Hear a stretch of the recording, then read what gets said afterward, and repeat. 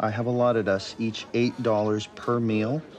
So it looks like you can get one of the uh, one of the salads or a soup. Or...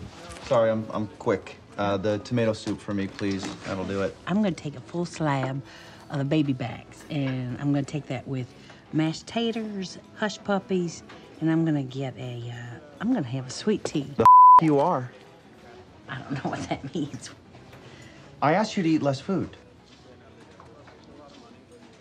What is wrong with you? This is a beautiful woman. You let her eat. No, he's right. You know, I put on a little bit of weight because of all the stress. Walter's a fireman. Oh. Yeah, but it's okay. It's okay. He was in a pretty, pretty intense She doesn't care. accident last year, and he, and he injured his male parts. They're just shredded down there, and now he can't work.